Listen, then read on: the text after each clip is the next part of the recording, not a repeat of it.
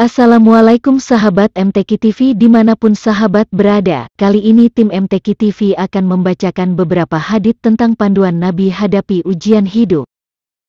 Hadis ke-1 Nabi beliau bersabda, tidaklah seorang muslim tertimpa suatu penyakit dan keletihan, kekhawatiran dan kesedihan, dan tidak juga gangguan dan kesusahan bahkan duri yang melukainya melainkan Allah akan menghapus kesalahan-kesalahannya. Hadis Riwayat Bukhari, hadis nomor 5210. Hadis kedua, doa bagi orang yang tertimpa musibah. Allahumma rahmataka arju fala takilni ila nafsi tarfata aini wa aslih li sya'ni kullahu la ilaha illa anta. Ya Allah ya Tuhanku, aku mengharap rahmatmu, karena itu janganlah engkau serahkan urusanku kepada diriku sendiri, janganlah engkau berpaling dariku, sekejap mata, perbaikilah semua urusanku, tidak ada Tuhan selain engkau. Hadis Riwayat Abu Dawud, hadis nomor 4426 Hadis ketiga apabila kamu tertimpa suatu kemalangan, maka janganlah kamu mengatakan, seandainya tadi saya berbuat begini dan begitu, niscaya tidak akan menjadi begini dan begitu.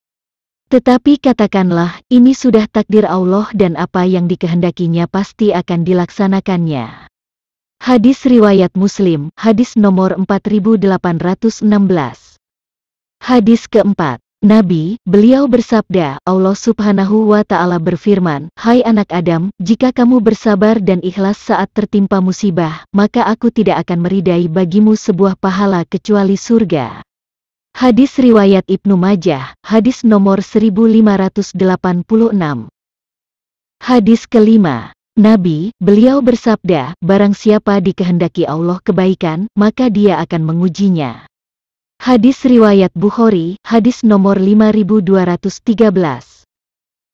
Hadis ke-6. Nabi pernah berbaring di atas tikar hingga membekas di kulitnya. Lalu aku bertanya, demi ayah dan ibuku, wahai Rasulullah.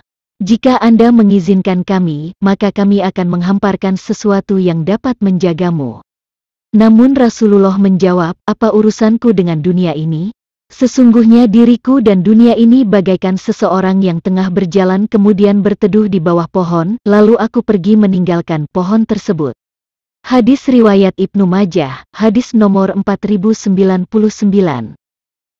Hadis ketujuh. Nabi bersabda, barang siapa yang meringankan, menghilangkan kesulitan seorang muslim kesulitan-kesulitan duniawi, maka Allah akan meringankan, menghilangkan baginya kesulitan di akhirat kelak. Barang siapa yang memberikan kemudahan bagi orang yang mengalami kesulitan di dunia, maka Allah akan memudahkan baginya kemudahan urusan di dunia dan akhirat. Dan barang siapa yang menutupi aib seorang muslim sewaktu di dunia, maka Allah akan menutup aibnya di dunia dan akhirat.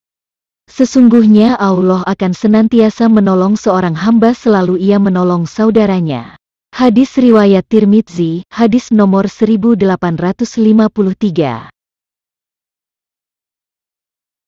Hadis ke-8. Nabi bersabda, tidaklah seorang mukmin tertimpa musibah lalu ia membaca apa yang telah diperintahkan oleh Allah. Inna lillahi wa inna ilaihi raji'un. Allahumma jurni fi musibati wa akhlif li khairan minha. Sesungguhnya kami adalah milik Allah dan akan kembali kepada Allah. Ya Allah, berilah kami pahala karena musibah ini dan tukarlah bagiku dengan yang lebih baik daripadanya, melainkan Allah menukar baginya dengan yang lebih baik.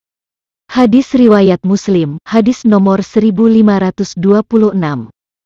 Demikian sahabat MTQ TV, insya Allah kajian hadis akan dilanjutkan esok hari. Terima kasih, Assalamualaikum.